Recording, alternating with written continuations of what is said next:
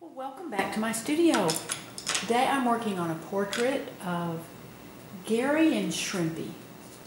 And Gary passed away earlier this year and Gina, one of my wonderful collectors, is asking has asked me to do this portrait of him and his favorite dog Shrimpie to give to his wife. So I just this is a special painting Gina sent me a picture of Gary and Shrimpie in his office. And he was quite a horseman. He was a sheriff. And you can see, I've shown you that in the very beginning.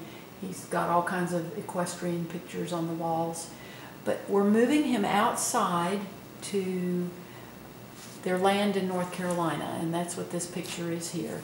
This is from the, we're building a retirement home there and um, Holly's going to continue with that. And so I'm putting him out on the deck. Gina asked could I work some sunflowers into the painting, so he's on the deck in an Adirondack chair, taking him out of his office chair, put him in an Adirondack chair, and we're going to have sunflowers behind him. So that's what I'm painting now. I also showed you my paint mixtures, and so now I start blocking these in. The trees behind Gary and Shrimpie are still wet. So I have to be very careful laying my color in because my brush, you can see it picks up some of those greens. So I have to keep wiping my brush. These are various mixtures of cadmium orange plus alizarin crimson plus a little bit of cadmium red light and then I've got cadmium yellow medium plus a little bit of my mud, which is two parts of ultramarine blue and one part of alizarin crimson. Then I've also got just pure cadmium yellow medium, and then I also have some cadmium yellow medium plus lemon yellow. Now here I'm coming back in that these are some of the greens from the trees behind, behind them. And so I, you can see this bright brush, it's got square corners, and so it's very easy to go in and work around uh, to make small details. I can work in between these petals of the sunflowers. And so I love these brushes. They're just very versatile. You can use the flat edge to paint large areas, or you can use the corners to, to make details. So I block in my petals of the sunflowers first. And I want this one back just a little bit so you just get a hint of that porch railing behind. We don't want the, you know, it just doesn't have to be hugely in there, but we want enough in there to just get the feeling that they're sitting out on the deck. It's sunset and just a beautiful evening. And so that's, that's what's happening here. That's, that's our setting. I had to go on Google and find, get, look, just look for some pictures. I just Googled man sitting in Adirondack chair because to make his body position in that chair was a little different from the way it was in his office chair. So I had to make some adjustments there. I also had to make some adjustments for the foreshortening in the photograph. Anytime you're working from photographs, you have to be very, very careful about foreshortening. Like this, this photograph, Shrimpie's muzzle was just way too big. In fact, his muzzle almost looked like a Great Dane, the way it was so big, because the camera was closer to him. So that's, that's why I, have, you just have to be very, very careful and make adjustments. Now here's some of my leaves from the, the sunflowers. Now my mixtures in the back are cool greens made of phthalo blue, plus a little bit of cadmium orange, plus cadmium yellow medium, plus white. And then these greens are made with ultramarine blue plus lemon yellow. So they're a little bit warmer and they come forward. This is the dark made of my phthalo blue plus Liquin. I'm going to have these. The chair is going to be dark. It's just a natural wood. So I've just got some light there to, to have the light hitting right behind there. Again, I'm going to shape this leaf a little bit with some dark behind it.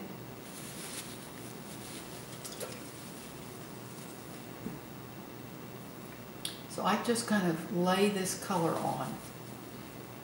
Now I want this blossom back here, I don't want this to be real bright because it would jump forward of, Gary's face, Shrimpie's face. So this one's going to be, it's too bright. This one's going to be a little more subdued. I want it back there to get the feeling, to give the depth of these flowers behind, but I don't want it real prominent. Gary's shirt's going to be blue, so this gives this red-orange, gives a nice, nice contrast behind that blue.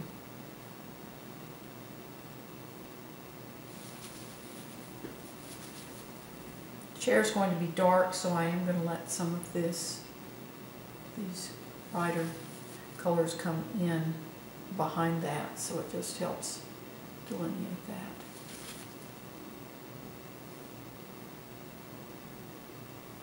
And then these back here are in shadow, so they're darker.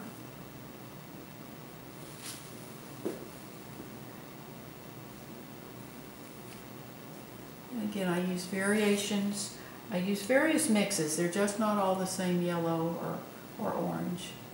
I've got one back here, and again, this is behind his blue shirt. So that'll make that blue. Blue orange is the complement to blue. So this yellow, orange, red will just make that shirt appear brighter, make it come forward too. Again, I want this to just be, I want it there, but not just jumping out at you.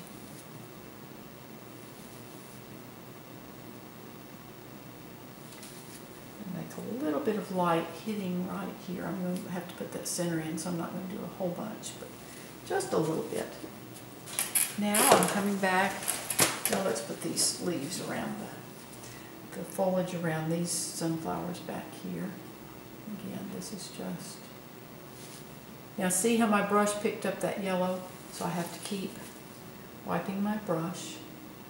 Some dark in here behind that blossom.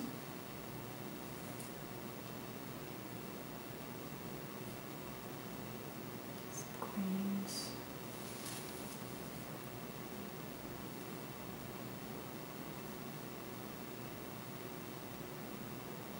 just going to have this dark back here. I'll sign it in this corner. So I just want this to be pretty dark, nondescript.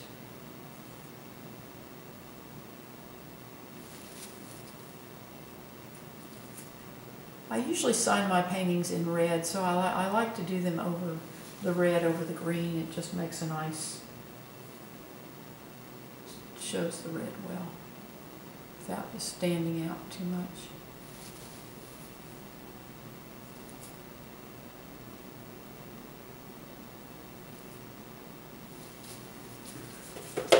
Okay, let's put the centers in those flowers. Now for the centers, I use a mixture of my mud plus Liquin. And this is using my mahl stick. This, this hooks over the top of my easel and I can just brace my hand on this. So that makes it very easy to put these in. You can see as I do this that my brush picks up some of the yellows from the flower, which is good because it warms that center a little bit. I don't want it just a solid black hole in the middle of the flowers.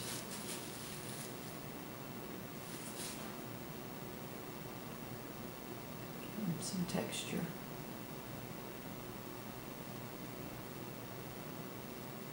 And these flowers are in perspective, so you, the centers as the flowers turn, they become more oval as they come close, as they, as the flowers turn around towards you, the centers become more circular, more round. This one's behind, behind Shrimpie. Now I drew these in, I drew my sketch up there with a mixture of my mud plus Liquin. Did that in my previous session, so it's dry now. So I can come back where this color has come over the my sketch with a clean brush. I just wipe, swish it out in my thinner, my Turpenoid odorless paint thinner, and I can just come back and reestablish my sketch there. That's the nice thing about sketching this up and letting it dry. Then anywhere I go over the sketch, I can come back and just erase it. Brush clean. But you can see, once I get those centers in there, that, that's sunflowers. See, that's very easy then to erase that. And then Gary's leg comes out here. This is the chair.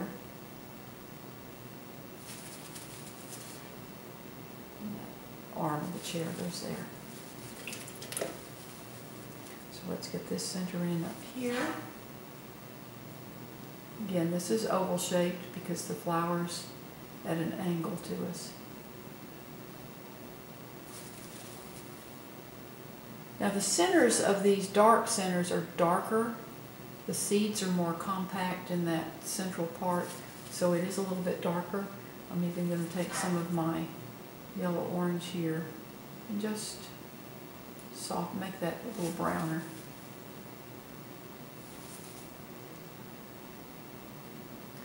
And as the center comes around, it gets darker around the edges.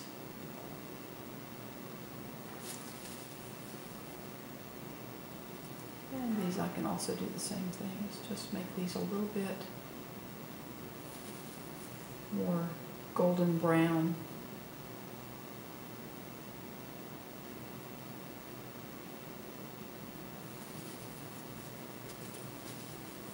Do these back here.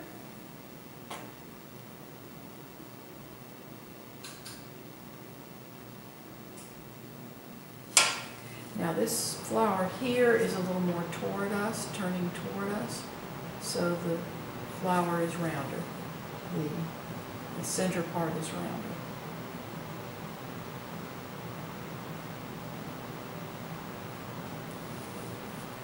Again, I'm going to just make this a little bit browner. And also this one.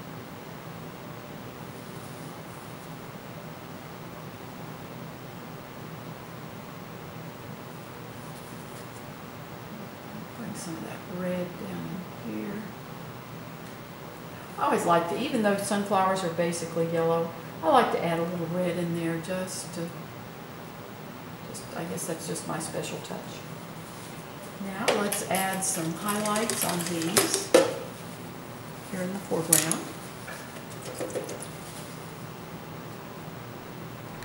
Again, I can take my bright brush, I just put paint on the corners, and I can just highlight some of those petals.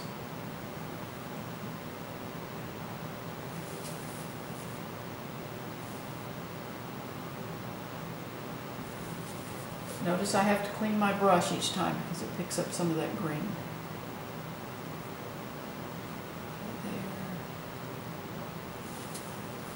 Now as it goes around that way, I'm going to get these, these are cadmium red medium. That other was cadmium red medium plus lemon yellow.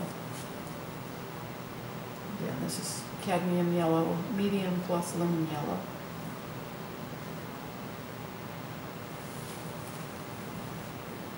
And then here's the pure cadmium yellow medium.